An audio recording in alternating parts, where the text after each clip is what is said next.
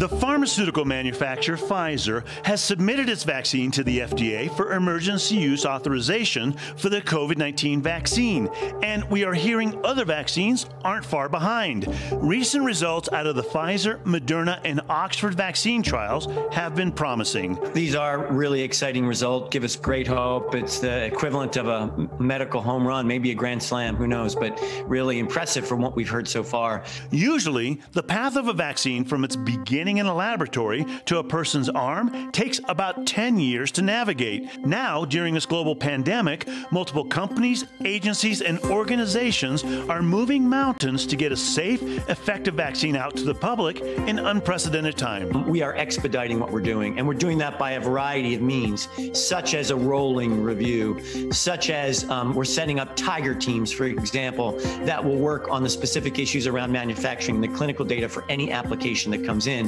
We're going to extraordinary and very significant efforts to bring all resources to bear because we realize that people are dying every day. At least three vaccines are nearing the end of their phase three clinical trials, with thousands already receiving shots.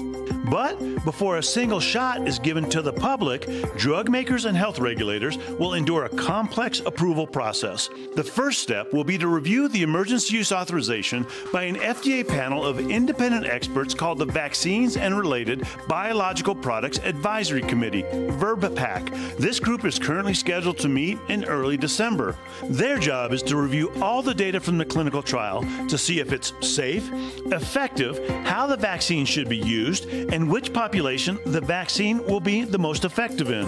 This is an open process, the FDA. With the data that the FDA Vaccine Advisory Committee is going to be seeing is all the data that Pfizer has on these vaccines. And if it's not, if we feel in any way that it's not, then, then we'll ask for it. This advisory committee will spend hours sifting through the data. And while they are in an advisory role, the FDA usually respects their recommendation.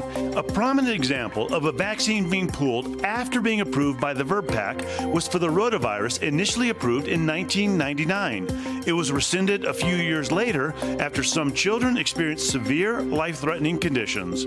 Once the FDA accepts the recommendation from the VRBPAC, they will then issue an emergency use authorization. The next step will be for the Centers for Disease Control and Prevention's Advisory Committee on Immunization Practices, or ACIP, to make their determination.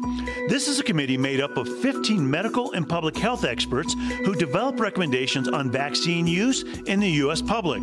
They're selected by the Secretary of Health and Human Services. The ACIP is the committee that determines who will be first in line to get the shot. That's the key committee because that's the committee that looks and says, okay, yeah, I think not only can they distribute it, but here's who they should distribute it to. And they make a recommendation. Much like the FDA considering the VRBPAC's decision, the CDC will consider the ACIP's decision. Once this step is complete, people will start to get the vaccine. This whole process of regulatory review and licensing has taken one to two years in the past, but it's being condensed into months or even weeks for this critical shot in the arm. Health experts predict the first to receive the vaccine will be healthcare workers on the front lines, followed by the elderly and those with underlying health problems. The general public could see this vaccine as early as the spring of 2021, and the FDA remains adamant on its safety.